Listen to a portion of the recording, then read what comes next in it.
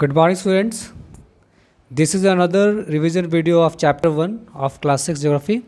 already last video we have discussed about our earth today will focus on a important topic that is stars and galaxies we have seen numbers of stars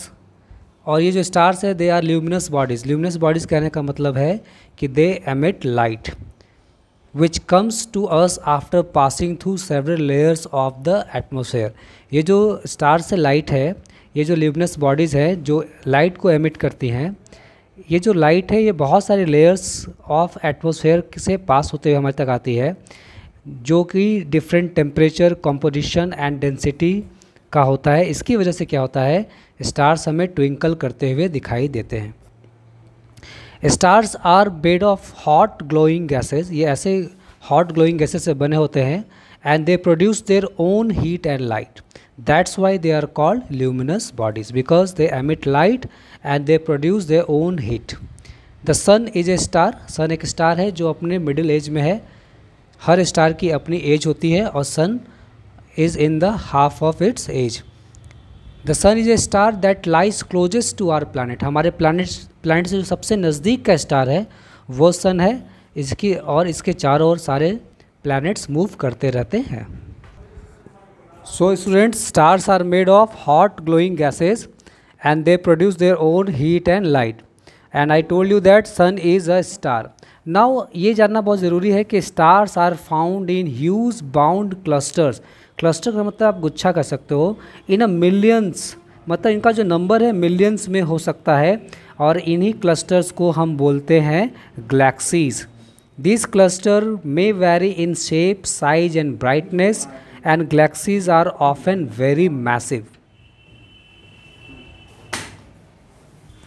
so इनका जो shape है galaxies का, वो जो अभी तक identified हुआ है, वो है मेनली स्पाइरल एलेप्टिकल या many times it has been found in irregular types also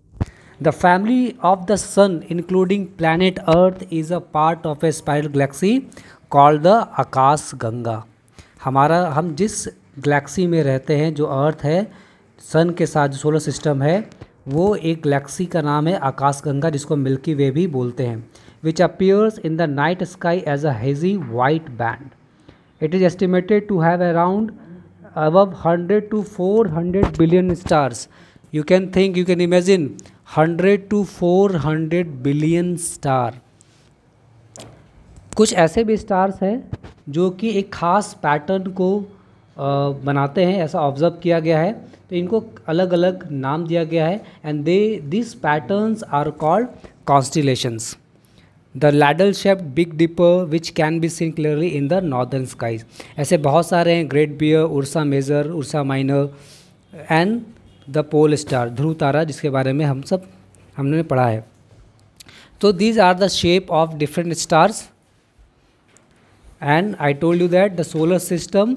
in solar system the sun is in the centre and they are eight other planets which revolve around the sun, and there are also some dwarf planets. Dwarf का मतलब होता है बौना, छोटे planets, जो planets नहीं हैं, लेकिन their size is very smaller to other planets और कुछ अलग अदर रीजन की वजह से इन्हें प्लानट नहीं माना जाता है। Earlier there were nine planets but today they are only eight planets in solar system